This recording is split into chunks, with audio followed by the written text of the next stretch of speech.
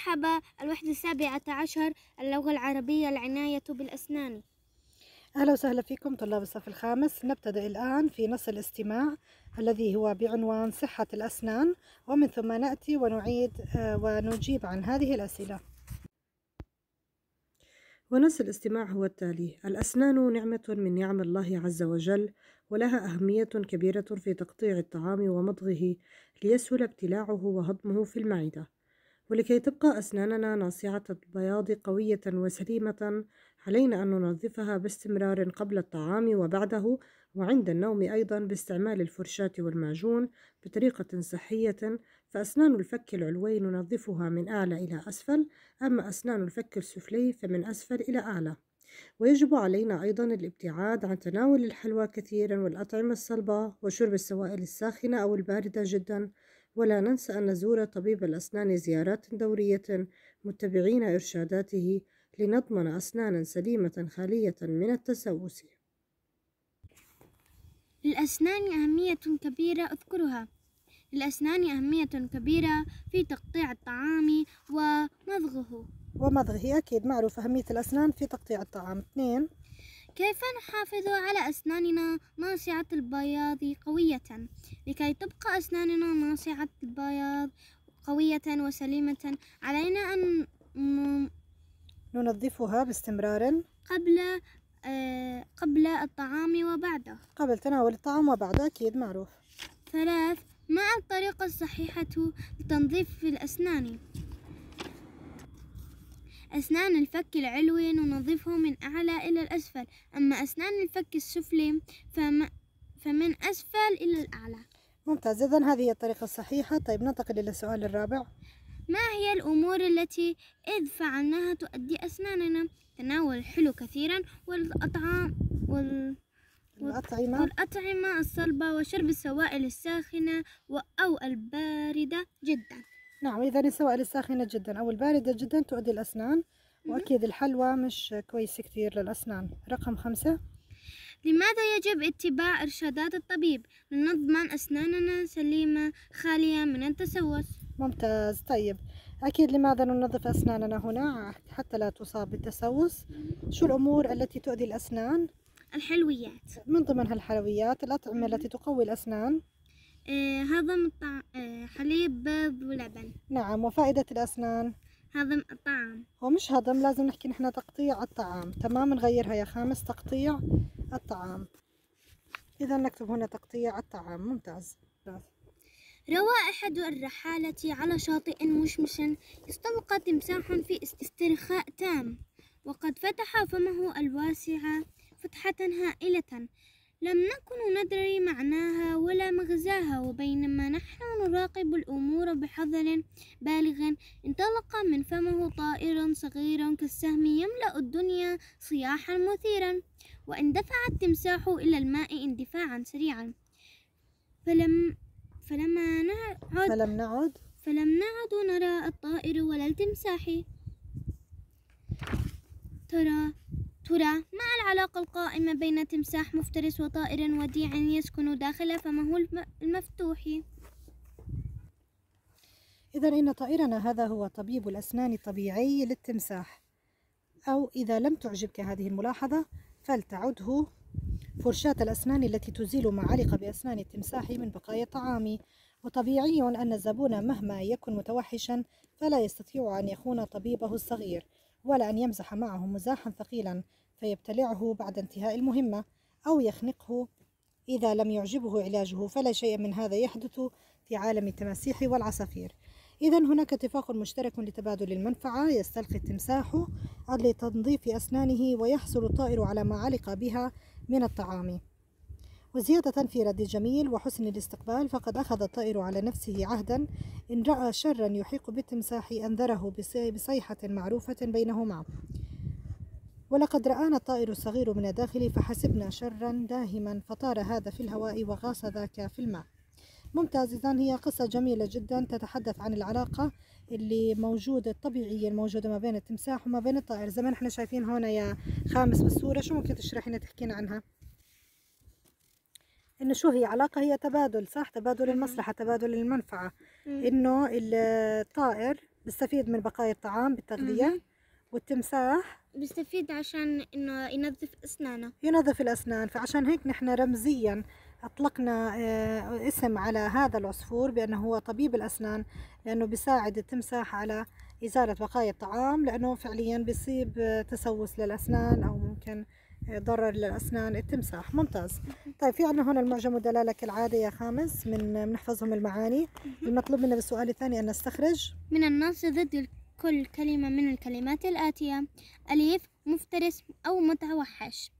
اختلاف تشابه أو اتفاق. الوداع اللقاء اللقاء أو الاستقبال. ممتاز. ثلاث. سؤال ثلاث. فرق في المعنى فيما تحته خط ألف. ترى ما العلاقة القائمة بين التمساح مفترس وطائر وديع؟ القائمة معناها الواقعة. أعد أعددت. قائمة باسماء الكتاب التي سأقرأه في العطلة الصيفية. أسماء الكتب التي ستقرأينها. يلا شو مقصود في القائمة هنا؟ ورقة. الورقة. قائمة يعني بيكون ورقة موجود عليها مجموعة أسماء. نعم. ب فيبتلعه مثلا بعد انتهاء المهمة. مهمة يعني أو واجب مو موكل إليه موكل إليه. نعم إذا المهمة هون معناها واجب موكل إلى الشخص. أما في معنى آخر إلها اللي هي حدد المعلم النقطة المهمة في الدرس. المهمة النقاط المهمة في الدرس يعني رئيسة. رئيسية ضرورية. نعم. طيب نأتي الآن إلى معنى كلمة الجميل معنيين مختلفين أول- ينذر المعرفة ينذر. الطائر ينذر الطائر التمساح زيادة. زيادة في رد الجميل أها. المعروف. معروف. لكن لكن هنأت المعلمة؟ هنأت المعلمة الطلاب. طالبة سماح على خطها الجميل. شو يعني جميل؟ معناها الأنيق. إذا كلمة الجميل هون معنيين في معنى معروف وفي معنى تاني اللي هو أنيق جميل رائع.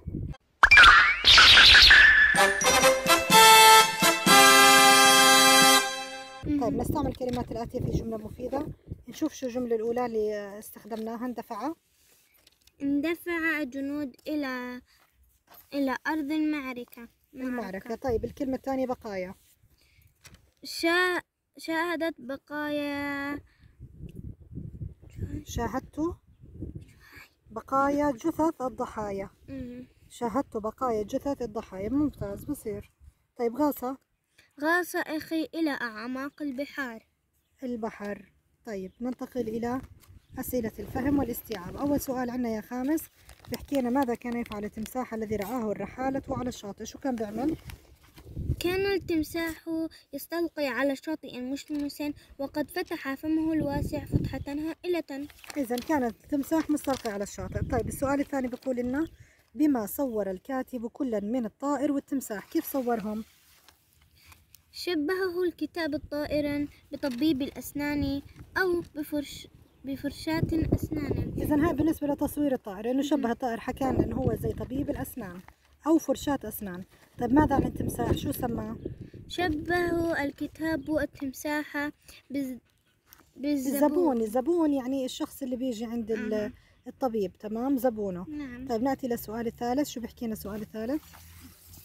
ما الأمر الذي لا يحدث في عالم التماسيح والعصافير نعم. إيه، لا يستطيع التمساح أن يخون الطائر ولا أن يمزح معه. مزحة مزاحا ثقيلة. ثقيلا. نعم. مزاحا ثقيلا في... في... فيبتاعه أو يخنقه. فيبتعه أو يخنقه. أها. إذا لا يبتلعه ولا يخنقه ممتاز. هذا السؤال الثالث. السؤال الرابع. العلاقة التي تجمع بين التمساح والطائر علاقة منفعة؟ منفعة. علاقة منفعة. وضحها. وضح نعم. شو حكينا نحن المنفعة؟ العلاقة تبادلية ما بيناتهم؟ يحصل التمساح على تنظيف الأسنان ويحصل الطائر على ما؟ علق بأسنان التمساح من. الطعام. ممتاز. الاثنين بيساعدوا بعض. طيب ما العهد الذي أخذه الطائر على نفسه؟ شو حكى الطائر؟ شو وعد نفسه؟ أن رأى شرا يحيق بالتمساح إن سوف ينذره الطائر بصيحة بصيحة معروفة بينهما. بينهما. ممتاز. يعني حكى له إنه أنا يعني رح أصيح أعمل صيحة معروفة بيناتنا إنه على أساس أنذرك بأي خطر ممكن يكون موجود. ممتاز. اذا هاي هي العهد الوعد الذي أخذه الطائر على نفسه. طيب سؤال ستة يا خامس يقول لنا إنه نفسر سبب اختفاء الطائر والتمساح. ليش اختفوا؟ الطائر والتمساح. عندما رأى طائر صغير من الداخل حسبناه شرا دا حسبنا شرا. داهما. أها. فطار في الهواء وغاص التمساح في الماء. ممتاز. اذا دغري بس شعروا بالخطر الاثنين. كل واحد هرب. واحد طار والثاني نزل بأعماق البحر. طيب ما رأيك أنت في عنوان الدرس؟ شو رأيك في العنوان جميل؟ جميل ورائع ومعبر. معبر. ممتاز. طيب آخر سؤال طالب منا شو العبرة المستفادة من القصة؟ دائما القصة المروية في إلها عبرة في إلها درس. آه شو استفدنا نحن من قراءتنا العلاقة بين البشر كال... كالعلاقة علاقة. بين الحيوانات بين البشر منافع مشتركة كل واحد يفيد ويستفيد من الآخر. ممتاز. إذا العلاقة الموجودة ما بين البشر تشبه العلاقة الموجودة ما بين الحيوانات. فيها تبادل منافع ومصالح مشتركة صحيح؟ طيب ننتقل معاكم إلى صفحة رقم 89 نتحدث فيها عن مصدر الفعل الثلاثي طيب ننتقل الآن يا خامس لشرح المصدر. المصدر بيحكي لنا هو اسم يدل على حدث غير مقترن بزمان مثل الكلمات نزول ركض آه، زئير التي صيغت من الأفعال نزل نزل وركض وزأر كثير سهل المصدر يا خامس خلينا نحكي مصدر الفعل الثلاثي. يعني مثلا كلمة نزول أصلها من وين يا ما رهف شو الفعل. الماضي؟ آه معناه شو الفعل الماضي تبعها؟ نزل؟ لا. نزل نزول. نزل نزول. نزل نزول. طيب زئير إجت من الفعل الماضي اللي هو ز ز أرى. زأرة. زأرة هو الفعل الماضي من زئير. فإحنا الزئير من وين جبناها؟ جبناها من الفعل الماضي اللي هو زأرة. طيب زراعة. شو الفعل زرع. الماضي؟ زرع إذا زرع زراعة. طيب خلينا نشوف هدول المصادر لهاي الأفعال نقرأهم. نزل نزول. ركض. ركض ركوب ركضا. أها زأرة؟ زأر زئير. نبح. نباء نباح. نباح. زرع. زراعة. سه- سهل سهولة. سهولة. سهولة. إذا هذا ال- الأسماء هاي النباح الزراعة السهولة كلياتهم هدول ما بيدلوا على على إيش؟ على زمن. يعني مش مقترنة بزمن. في الليل لأنها اسم. فعليا الأسماء لا تقترن بزمان إنما الأفعال بس اللي بتقترن بزمان. تمام. نأتي الآن إلى حل الأسئلة. يلا نبدأ بالسؤال الأول. استخرج المصادر الثلاثية مما يأتي. قال تعالى إذا جاء نصر الله والفتح. مصر وين المصادر؟ مصر والفتح. نصر وفتح. ممتاز. اثنين. أحرص على النهوض. مب... مب... مبكرا. طيب. النهوض النهوض مبكرا لا ما إلها دخل. يلا اللي بعدها يعجبني صهيل سهيل الخيل الخيل وين المصدر آه صهيل. سهيل دال. لم أجد صعوبة في الإجابة عن المسائل عن. المسألة. صعوبة هي المصدر. شو كمان؟ إجابة. إجابة تعتبر. مصدر. حطي تحت الإجابة كمان خط. ننتقل إلى السؤال الثاني طالبين منا يا خامس أن صيغة من الأفعال الآتية مصادر. هذا الفعل بدنا نعطيه إيش؟ المصدر. وقف. وقوف. كتب. كتب. كتابة جمع. جمعا. جمعا. حامض. حاموضة. حمض حموضة. حموضة. سعل. سعال. سعال. ممتاز. طيب ننتقل الآن إلى صفحة 91 بنحكي فيها عن حالات أخرى استثنائية.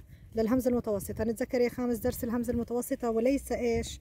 الهمزة المتطرفة. الهمزة المتطرفة اللي بتأتي بالنهاية المتوسطة حكينا لها مجموعة حالات لما تكون ساكنة قبلها مضموم تكتب على ضمة ساكنة قبلها مفتوح تكتب على فتحة وساكنة قبلها مكسور تكتب على نبرة هلأ بدنا نحكي ثلاث حالات بيكون قبلها إيش؟ حرف علة. علة. يعني عندي زي كلمة القراءة. القراءة. شايفين همزة؟ شو قبلها؟ الهمزة قبل حرف. حرف الألف. الألف هو حرف علة تمام؟ آه. طيب نيجي لكلمة لكلمة المروءة. المروءة برضو تكتب على السطر لأنها جاءت إيش؟ مفتوحة بعد مفتوحة حرف بعد المد حرف اللي هو الواو. تمام. هاي حرف المد. شو اللي قبلها قبل الهمزة هون إحنا شايفينها. اللي هو الواو. تمام؟ طيب لماذا كتبت هنا على نبرة؟ هاي بنسميها نبرة ليه؟ لأنها جاءت مفتوحة بعد ياء ها ملاحظين الهمزة هون يا خامس إنها مفتوحة عليها فتحة؟ قبلها بس حرف العلة اللي هو الياء. فعشان هيك كتبناها على نبرة. أما القراءة هون كتبت على السطر لأن هاي شايفين إحنا إنها لأنها مفتوحة جاءت مفتوحة بعد الألف. بعد حرف الألف ممتاز. طيب. نأتي إلى السؤال بحكي لنا ليش كتبت الهمزة على الصورة التي جاءت عليها في الكلمات الآتية. يلا. هيئة ليش كتبت على نبرة هيئة آه، مفتوحة بعد ياء. بعد حرف الياء اللي هو حرف العلة. طيب. عباءة لماذا كتبت على السطر؟ مفتوحة مفتوحة بعد الألف. بعد حرف الألف. ضئيلة. أو مشيئة. مشيئة مفتوحة بعد ياء. بعد الياء عشان هيك كتبناها على نبرة طيب النبوءة. نبوءة مفتوحة بعد الواو. مفتوحة بعد حرف الواو. ممتاز. إذا هاي هي الحالات الاستثنائية. زي ما لاحظنا كتبت هون الأولى. على سطر بيكون قبليها حرف الألف تكتب على نبرة بيكون قبليها حرف الياء وتكتب هنا على السطر لأنه قبليها حرف الواو. ممتاز. وأكيد هون عنا صفحة 92 عنا التعبير بنتمنى منكم أنه تقرأوه وتكتبوا موضوع عن العناية بالأسنان كتير سهل ولطيف الموضوع. وأكيد عنا مختارات من لغتنا الجميلة. الجميلة. نحكي فيها عن عنوان الصديقان. كان. وأكيد هيك بيكون أنهينا نحن وحدتنا لهذا اليوم. الشاعر البهاء زهير. طيب. ونتحدث إن شاء الله نراكم في وحدة جديدة وحدة 18 نحو بيئة آمنة. وهي آخر وحدة. إلى اللقاء. إلى اللقاء. وبتمنى تشتركوا بالقناة وتفعلوا الجرس وتحطوا لايك وتحطوا اشتراك وسبسكرايب. باي!